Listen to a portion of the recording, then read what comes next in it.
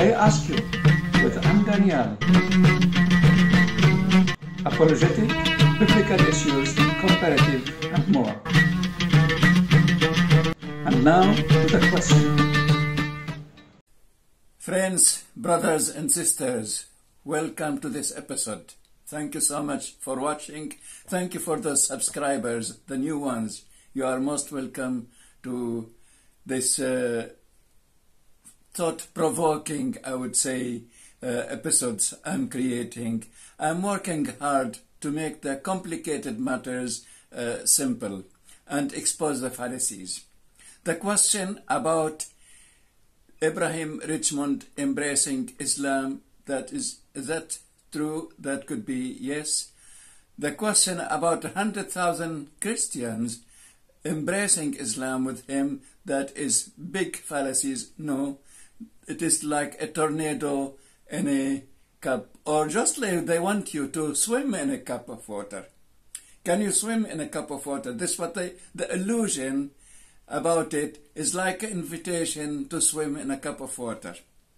The other question about Chrislam, was it necessary movement in Lagos, Nigeria and spreading throughout Nigeria and other places under different other names? Let us watch this.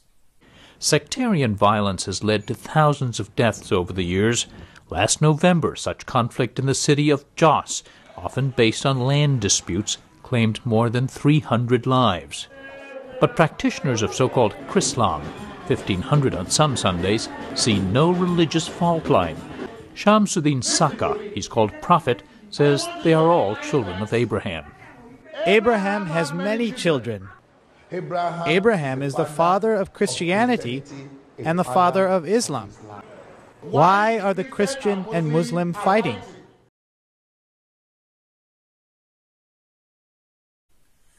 From this, my friends, you understand why Chrislam in Nigeria, the fighting, the killing, the unnecessary atrocities between communities, mainly I would say the Muslim aggressions against Christians. Muslims have Christophobia. They cannot see Christians prospering and living in peace. That is the sad truth about it. And Chrislam is emerging between the two uh, religions, if we call Christianity a religion. Christianity is not a religion, it is a way of life that is following the steps of Jesus Christ, our Lord and Savior. So bringing the traditions, the practices of Muslims and Christians in under one roof together. We can work in so many areas together. There are so many social necessities to work together. In my street, I could work with the Muslim and Hindus and Buddhists and every other person in harmony for the safety of our street, for the safety of our homes and families uh, together. So many other areas we can work together, but not to worship. I had a dream. I was sleeping. And I'm hearing this voice. I was sleeping in the church. It's a small room, a small piece of room. Assalamu alaikum, my brothers and sisters. As you will all be aware, it is the time of the holy pilgrimage of Hajj, and I saw a very special story trending on Twitter regarding a former Christian priest named Ibrahim Richmond, who reverted to Islam after having continuous dreams telling him to do so. What is particularly beautiful about this story is he converted his 100,000 strong Christian church congregation to Muslim also, and was rewarded by Allah subhanahu wa ta'ala by the Saudi government taking notice and funding his Hajj pilgrimage. Some of you haven't heard about it Uh, except in my previous video. Some have heard a lot through the social media. But is it true what this lady is saying? That he brought with him 100,000 strong Christians. Not any Christians. 100,000 strong Christians.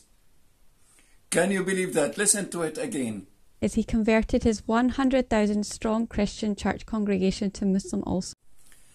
So he was rewarded by Allah subhanahu wa ta'ala and by the Saudi government to perform Hajj at the age of two months in Islam, after two months in the allegedly embraced Islam, and brought with him a hundred thousand strong Christians. I challenge the Muslims. I challenge everybody to convert a church of 15 only, only of 15 members, convert them all into Islam. Any Christian church we have, I challenge our Muslim friends, every other person, if you can convert those congregation of 15 person, only small, very small church, into Islam. There is no way this will not happen. I'm convert myself out of Islam to Christ. I'm proud to be a Christian. And I'm proud to suffer for the sake of Christ. I have plenty of hardship I passed through in my early Christian life because of the Lord Jesus Christ, because of this faith. And I'm still enduring some hardship, even by the Christians, inevitably. And for Muslims, many would like to see me extinct from this world. Yet I persevere. There is no temptation, there is no financial temptation, nothing at all will tempt one like me to revert to Islam, to go back to Islam, to embrace this religion that I have left because I know what is Islam. And miraculously, I would say, my friends, I would say to the Christians and Muslims, I do love the Muslims. I left Islam because of the flaws I know in the religion, but I love the Muslims despite my vast knowledge, I would say, over uh, 70 years. Now, let us watch this again. How many strong Christians came to Islam? As he converted his 100,000 strong Christian church congregation to Muslim also.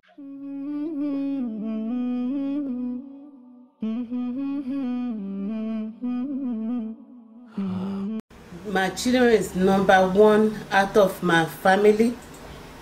They finish college. They working. None of my family they didn't, they never go to college. So I'm just grateful God make me be the number one family helping help my children help my family back home too.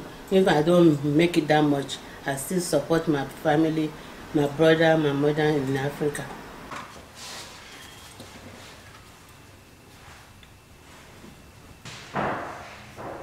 Is important to me because it will give me peace of mind. So Ibrahim embraced Islam and they got the benefit. He and his family, family members, they got the benefit. So in Islam, they are called mu'allaf. So he became mu'allaf. I will explain that. It is a concept so many Christians do not understand, so many, even Muslims. He became mu'allaf of the heart.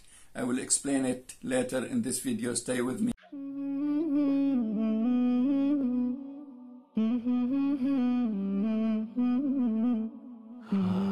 الآن هو ذهب حاجا إلى مكة المكرمة ومرافقه بدأ يعني يأخذ به جولة في بعض الأماكن ووصل به إلى جبل النور حيث نزل القرآن عن النبي عليه الصلاة والسلام أو ما نزل في غار حراء نلاحظ أن بعض تصرفات هذا القسيس حديثه عهد بالإسلام يستخدم بعض الألفاظ بعض الحركات مثل النصارى He is our light, He is my light, He is the, he is the light of this world.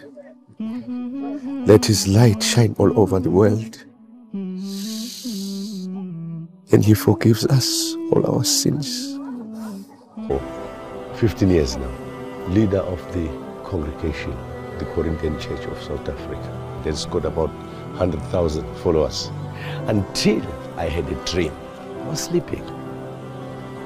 And I'm hearing this voice. I was sleeping in the church. It's a small room, a small piece of room. Then I heard this voice. It says, Tell your men to wear white kurtas. Kurtas. So our friends Ibrahim came to Islam through a dream. I don't despise people seeing dreams. And the commentator was telling that because he is still new to Islam, he uses some of the Christian uh, expressions, vocabularies. Uh, this is a reality. This is a reality of people from the Corinthian church in South Africa. They mix the two together. They don't mind the Christian uh, expressions in worship and they adhere strongly to the Islamic teaching and expressions. So it's not big change for the man at all. Let us continue. Tell your men to wear white kurtas. Kurtas. What is a dream? Tell your man to wear white kapas or kultas. Tell your man to wear something like that. When we look at them, we see they already have white cap on their head. Majority. He doesn't in this video, so he did not follow the dream. Is that all? That is all. That is all. The dream that he should tell his men to wear something white on their head. That was amazing conversion. Very persuasive. If I had such dream, just tell your man to wear white kappas. Wow. That is enough to convert a hundred thousand strong Christians to Islam. No proof of it at all. People come to the Christian faith, for instance, for reason. They search, they may have dreams, some would have dreams of the Lord Jesus Christ coming to them. Uh, some will have experienced healing. There are so many things happening in the Muslim world. Uh, the wind in the house of Islam is blowing, and the Holy Spirit is working in the house of Islam, bringing people to Christ, to the saving knowledge of Jesus Christ. They are educated. They will not be taking to the water of baptism before being discipled. This is the command of the Lord Jesus Christ. Discipling people, and then you take them to the water, and here we have this Chrislamist embracing Islam, which is not far from him, nothing unusual for him, what he was doing, and then within two months was taken to Hajj. How much money was spent on him and on his family to become mu'allaf, which I will explain soon now. Let us think of St. Paul when he was brought before King Agrippa. And what is a dialogue? How the Christians have a dialogue concerning the faith. No one would embrace the faith easily to the extent St. Paul was nearly convincing King Agrippa to become a Christian. That was through the prophets, through what is written in the scriptures at the hand of all of them. King Agrippa knows the scripture, he knows the, about the prophets, as we can see, and St. Paul brought him through this. In the book of Acts, chapter 26, from verse 1, so Agrippa said to Paul, You have permission to speak for yourself. Then Paul held out his hand and began his defense. Verse 22, I hope you will read the whole chapter and chapter uh, before it as well. I have experienced help from God to this day, and so I stand testifying to both small and great, saying nothing except what the prophets and Moses said was going to happen. Verse 23 that the Christ was to suffer and be the first to rise from the dead, to proclaim light to our people and to the Gentiles. Verse 27 Do you believe that prophets, King Agrippa?